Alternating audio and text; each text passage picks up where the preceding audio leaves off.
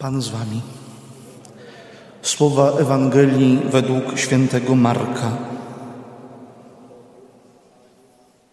Jezus mówił do tłumów. Z Królestwem Bożym dzieje się tak, jak gdyby ktoś nasienie wrzucił w ziemię. Czy śpi, czy czuwa, we dnie i w nocy nasienie kiełkuje i rośnie, sam nie wie jak. Ziemia sama z siebie wydaje plon, najpierw źdźbło, potem kłos, a potem pełne ziarno w kłosie. Zaś plon dojrzeje, zaraz zapuszcza sierp, bo pora już na żniwo. Mówił jeszcze, z czym porównamy Królestwo Boże lub w jakiej przypowieści je przedstawimy.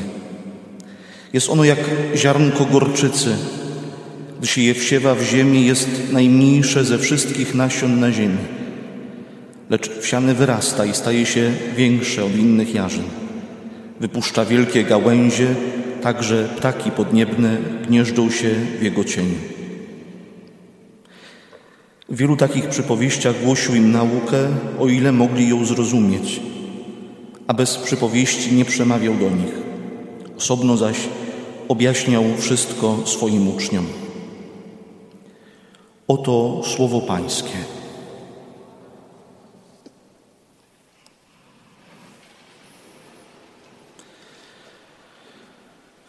Jezus stara się swoim uczniom, tym, którzy go słuchają, przybliżyć, czym jest Królestwo Boże. I używa w tym celu przypowieści. Dzisiaj przybliża nam rzeczywistość Królestwa Bożego w obrazie ziarna. Co jest najważniejsze w tym symbolu, co jest najważniejsze w tym znaku? Ziarno jest darem Boga. Nie musimy na nie zasłużyć, nie potrzeba go wypracować. Jedyne co potrzeba, to po prostu je przyjąć.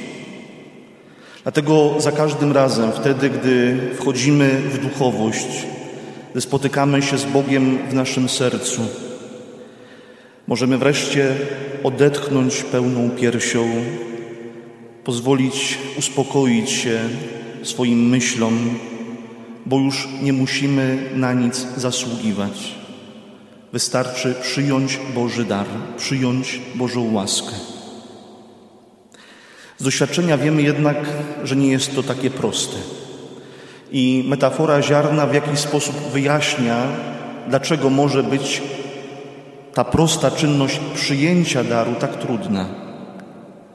Po pierwsze, jak usłyszeliśmy, ziarno może być bardzo niepozorne, malutkie.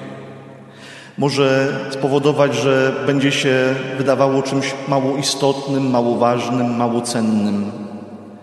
Ojcowie Kościoła często w obrazie ziarna jako daru widzieli Słowo Boże i sakramenty. I zwróćcie uwagę, że faktycznie czasem słyszymy, że tym, co może nas nakarmić, oczyścić nasze serce z lęku, jest modlitwa, jest przyjmowanie Eucharystii.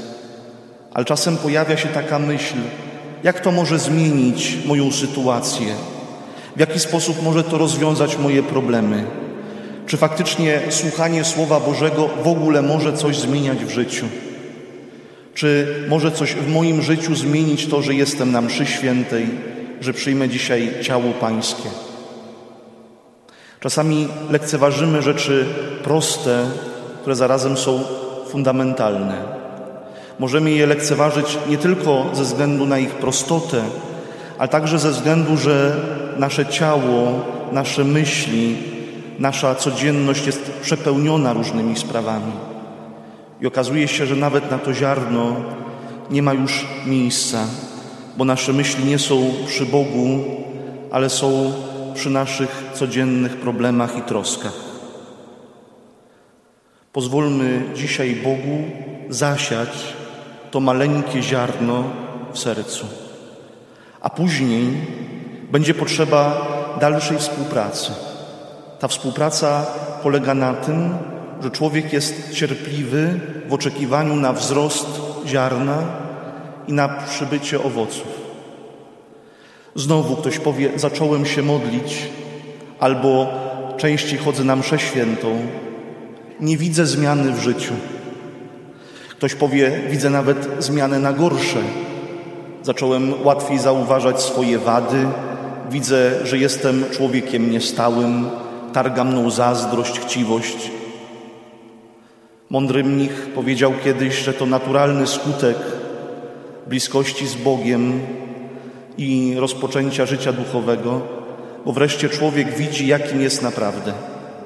Dotychczas to inni musieli się z nim męczyć, a wreszcie on sam dostrzegł, że jego życie potrzebuje przemiany, że jego życie potrzebuje nawrócenia. Ale jest to proces, który wymaga cierpliwości. I po trzecie, ta przypowieść z dzisiejszej Ewangelii ukazuje nam wzrost ziarna jako wzrost, który nie zawsze będzie w pełni uzależniony od naszej woli i naszej kontroli. Słyszymy, czy śpi, czy czuwa, we dnie, w nocy, nasienie kiełkuje i rośnie, sam nie wie jak. By przyjąć łaskę, by ta łaska mogła w nas wzrastać, potrzeba zgodzić się na to, by przestać nadmiernie kontrolować swoje życie i zgodzić się na to, żeby Bóg zaczął w nim interweniować. Chodzi o to, by tak jak w tym obrazie nocy i dnia, zgodzić się na to, że będzie jakaś część, jakiś wymiar mojej aktywności i troski o wzrost zasiewu, ale przyjdzie też błogosławiony czas snu, bierności, poddawania się łasce Bożej. Czasem okazuje się w życiu, że znacznie więcej dobrego dzieje się w naszym życiu w momentach nocy, gdy wydaje nam się, że straciliśmy kontrolę i świat nam się wali, kiedy nie widzimy w życiu światła i zaczynamy bać się o jutro. W pewnym momencie jesteśmy bezradni, bezbronni wobec trudnych doświadczeń, ale ta bezradność może stać się błogosławioną bezradnością, w której w ufności powierzymy się Bogu i wtedy zacznie w naszym życiu działać.